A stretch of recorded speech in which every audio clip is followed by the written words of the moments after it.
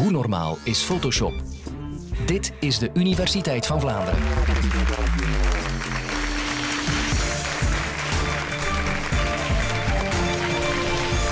Ja, hoe normaal is Photoshop? Ik heb een filmpje meegenomen om die vraag een beetje te illustreren voor we beginnen.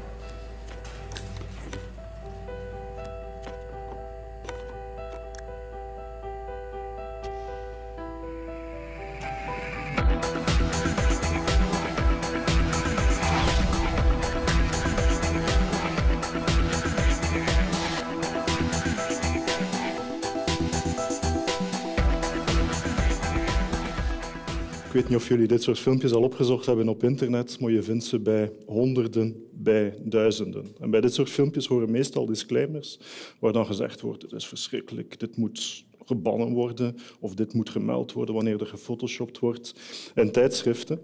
Maar als je daarnaar kijkt als kunsthistoricus, dan is dat eigenlijk de normaalste zaak van de wereld. Ik weet niet of jullie dat beseffen, maar we zijn al 2500 jaar aan het photoshoppen, zo gezegd. Als je 2500 jaar teruggaat in de tijd en je komt bij Zeuxis terecht, dan zie je dat die man eigenlijk niet veel anders doet dan wat we net in dit filmpje gezien hebben. Bijvoorbeeld, hij wordt gevraagd, Zeuxis is een, schilder uit de vijfde eeuw voor Christus. En hij wordt gevraagd om een schilderij te maken van Helena, de mooiste dame die er ooit geweest is. En Zeuxis gaat op zoek naar een model en hij vindt dat model niet. En hij zegt van kijk, ik laat al de vrouwen van Kroton, dat was waar dat hij woonde, die laat ik bij mij komen. Hij koos er de allermooiste uit en van de allermooiste vrouwen koos hij de allermooiste elementen oren van de een en de neus van de ander en de ogen van nog een. En die combineerde hij om uiteindelijk een van de meest beroemde portretten uit de antieke oudtijd te maken. Als we 500 jaar verder gaan in de tijd, en we komen bijvoorbeeld in het Romeinse Rijk bij Augustus, dan zie je dat er niet veel anders gebeurt. Augustus is net keizer geworden, we spreken net na het jaar 0 Christus is geboren. En Augustus heeft een nieuw systeem geïnstalleerd in Rome en wil dat systeem bestendigen en beseft dat hij daarvoor gebruik kan maken van beeldtaal. Beeldtaal is een geweldig propagandamiddel en hij zegt van kijk, de Romeinen zijn op dat moment niet zo heel erg bezig met kunst, maar hij zegt van kijk, daar in Griekenland, 5e eeuw, 4e eeuw voor Christus, daar hebben ze geweldige dingen gedaan. Daar hebben ze die ideale wezens gecreëerd, want dat zijn het uiteindelijk, geweldige mannen en vrouwen. Wat ik ga doen is die perfecte mannen die we kennen uit de Griekse kunst, die ga ik gebruiken. Daar laat ik weer beelden van maken. En hij geeft die beelden net genoeg lichaamstrekken van hemzelf, net genoeg herkenbare gezichtslijnen om hem als Augustus te herkennen, waardoor dat hij als een soort van halfgod wordt afgebeeld. Nu, als je dan weer 1500 jaar verder gaat in de tijd, we gaan de middeleeuwen door en we komen in de renaissance, dan zie je dat er niet zoveel anders gebeurt. Christendom is er ondertussen langsgekomen. Er zijn heiligen op het toneel verschenen. En je ziet dat die heiligen die worden niet afgebeeld als mensen van vlees en bloed, maar die worden afgebeeld als hele perfecte wezens. Dat zijn mensen die, geen enkel foutje, die op geen enkel foutje te betrappen zijn. Als je kijkt naar die dame bijvoorbeeld, dat is een gezellin van de heilige Ursula, een reliekhouder. Daar werden stukjes van botten of, of, haar of wat dan ook van die heilige in bewaard. Die reliekhouder, dat is gewoon de perfectie zelf. Dat is de porseleinen huid, daar zijn geen puisten op te herkennen, daar staan geen rimpels op, wat wij allemaal hebben. Dat is geen mens van vlees en bloed. Het enige wat je er misschien een beetje kan in herkennen is prinses Leia van Star Wars. Veel verder uh, gaat het eigenlijk niet. Nu, als je nog wat verder gaat in de tijd, je komt bijvoorbeeld in de 17e eeuw bij Rubens uit, dan zie je dat Rubens zich daar heel bewust van is. En al die kunstenaars zijn zich heel bewust van het feit dat je mensen en gezichten kan manipuleren en dat je daar iets mee kan doen.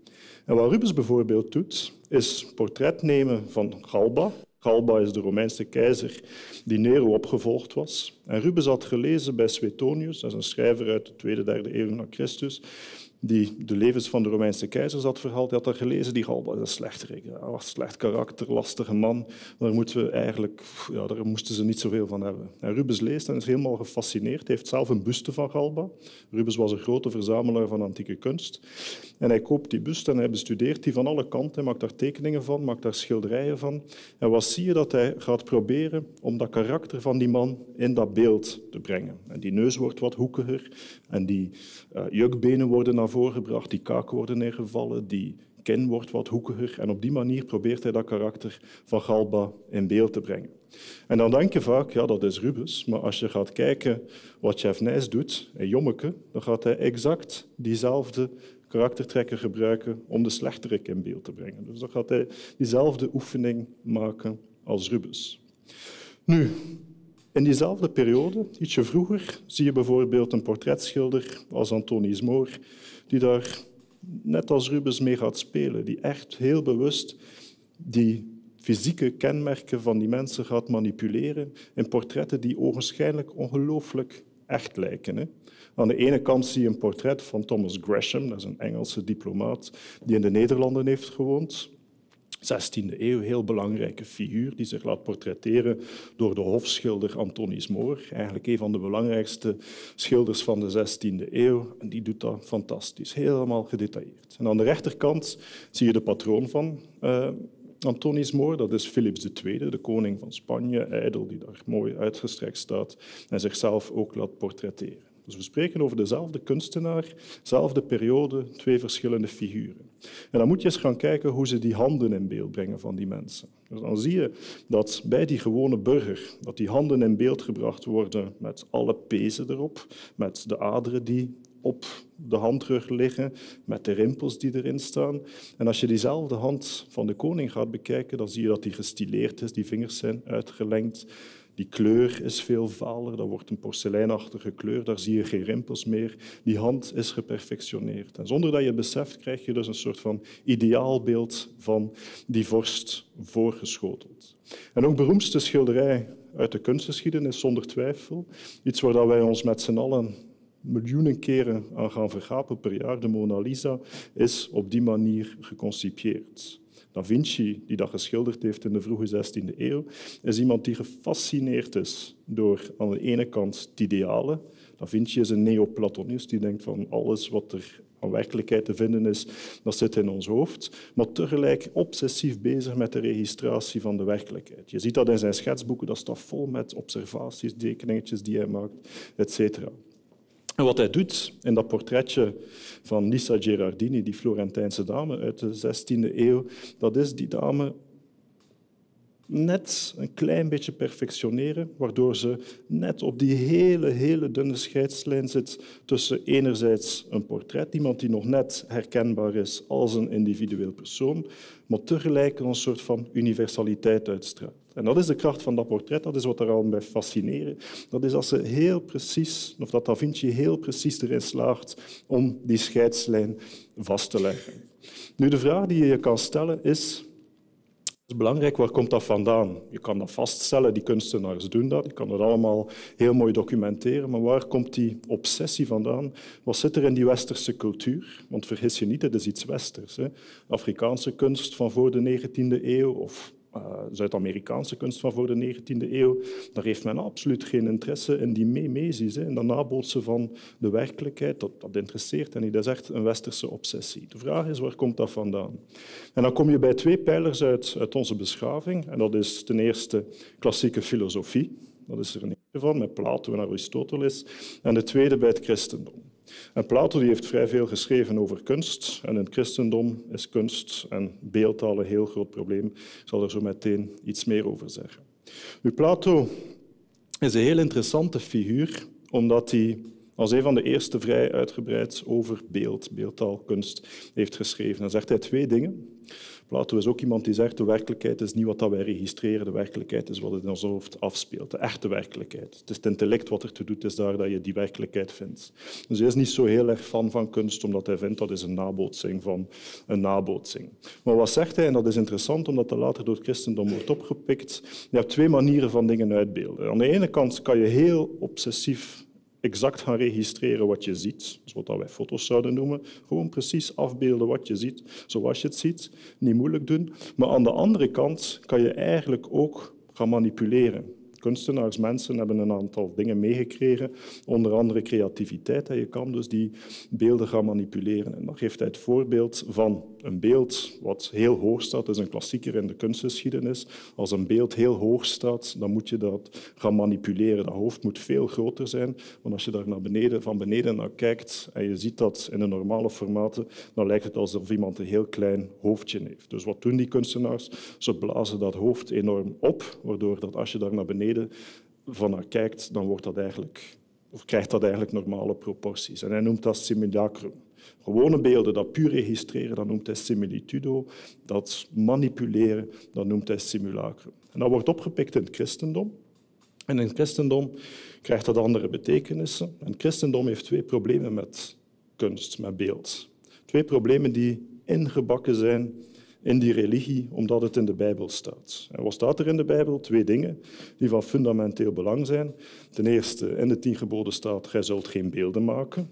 Dus wat zie je, zeker in het Jodendom, die zijn er al mee bezig, die zijn eigenlijk weinig beelden. Christen gaan zich daar na verloop van tijd overzetten. Maar veel belangrijker voor wat we vandaag aan het bediscussiëren zijn, is dat daar in een van de eerste zinnen van Genesis staat, de mens is naar Gods beeld geschapen. En dat is lastig als je gelovig bent. Hè. God, het almachtig wezen, heeft de mens geschapen naar zijn eigen beeld. En wat moet je daar dan mee?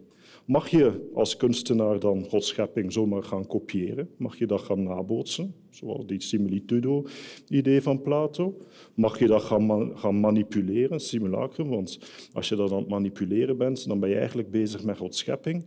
En dan heeft de mens nog een ander talent. De mens kan fantaseren. Dat is al helemaal een probleem. En in dat christendom, en zeker in de 15e, 16e eeuw, wanneer we enorme golven van iconoclasme hebben hier in Europa, dan zie je dat dat weer helemaal opwelt, die discussie. En dat daar ook onder kunstenaars veel over gepalaverd wordt. En dan zie je bijvoorbeeld dat simulacrum echt aan de kant geschoven wordt. Dat is echt Gods schepping manipuleren. Daar moet je afblijven. Dat is de mens die in al zijn zondigheid fantaseert. Dat is zonde, dat is simulacrum. Dat is wat je ziet in de kunst van Bosch bijvoorbeeld. Hieronymus Bosch, die al die vreemde wezens heeft gecreëerd. Je kent ze allemaal. Voor theologen en heel veel mensen in de 16e eeuw was dat verschrikkelijk. Dat was een soort manipulatie van de werkelijkheid waarbij dat de mens uh, zichzelf verliest. Daar zijn ze eigenlijk tegen. Maar veel problematischer nog is similitudo, omdat je in die similitudo eigenlijk kan kiezen tussen enerzijds dat realisme en anderzijds dat idealisme. je ziet dat bijvoorbeeld als je twee relatieve tijdgenoten tegenover elkaar plaatst. Adam afgebeeld door Van Eyck aan de ene kant en Adam afgebeeld door Michelangelo aan de andere kant. Dat zijn twee compleet verschillende werelden. Dat is Van Eyck die probeert om dat kleinste detail te vatten je moet er eens voor gaan staan voor dat schilderij. Je ziet de haartjes letterlijk liggen op de benen van die man. Dus echt tot in de allerkleinste details de mens in al zijn werkelijkheid gecapteerd. En aan de andere kant Michelangelo, die op zijn Platoonse manier eigenlijk een ideaal wezen gaat creëren. Maar dan krijg je weer discussie in die periode, 16e eeuw vooral, en dan zeggen ze, ja, maar ja, bedoel, is dat nu wel de essentie van beeld. En dan komen ze met nog een ander concept, wat eigenlijk ook heel fundamenteel is. En ze noemen dat prototypum. Want wat zeggen ze dan? Eigenlijk de manier waarop je dat beeld percipieert en het idee waar dat, dat beeld voor staat, dat zit niet in die toegang daar naartoe. Er zit altijd een idee achter wat veel krachtiger is. En als je naar zo'n beeld kijkt, dan kijk je eigenlijk door dat beeld naar wat ze dan noemen prototypum, de figuren betekenissen, zeggen ze daartegen in de 16e eeuw. En om dat te illustreren heb ik iets meegebracht. Gisteren mijn kindjes opdracht gegeven om een tekening te maken van mama. Ik heb die meegebracht. Drie dochtertjes. En je ziet, het is de dochter van drie. ik weet niet of je er mama in herkent, maar ik zal bij het uitleggen. Dit is echt de kracht van prototype. Dat is ons dochtertje van zes en dit is ons dochtertje van en je ziet de mimetische kwaliteiten, dus de nabotsing wordt beter en beter naargelang ze ouder worden. Nu, het interessante daarvan is, en daar ontwikkelen ze hele theorieën over, dat is dat ze zeggen van ja, maar voor mijn dochter en voor mijn vrouw, voor wie dat gemaakt is, is dat mama. Hè? Dus dat, dat lijkt in de verste verte niet op mama, maar dat heeft zo'n betekenis. En dan, ook al heeft dat niet de mimetische kwaliteiten die die schilderijen hebben, dat wordt mama. En wat nog erger is, dat prototype, dat is niet eens een vast gegeven, dat is iets wat heel flexibel is door tijd, ruimte, context en wat gaat veranderen. Om maar een voorbeeld te geven, stel je gaat naar een tentoonstelling en je ziet daar een portret hangen van Adolf Hitler, Het is een tentoonstelling over de Tweede Wereldoorlog. Er is niemand die daar een probleem mee zal hebben. Je gaat gewoon informatief naar een tentoonstelling. Maar als ik, naar, ik neem dat portret en ik hang dat in mijn living thuis op en je komt daar kijken, dan krijg je een heel ander verhaal. Dus dat idee, die figuren, betekenissen, waar dat beeld voor staat, wordt alsmaar complexer. En dat is heel belangrijk om te beseffen. En daarom is waarom Photoshop heel relevant is om te bestuderen en ook af en toe eens grondig bij stil te staan, dat is dat Photoshop ons wijst op problemen die al 2500 jaar eigen zijn in onze westerse cultuur.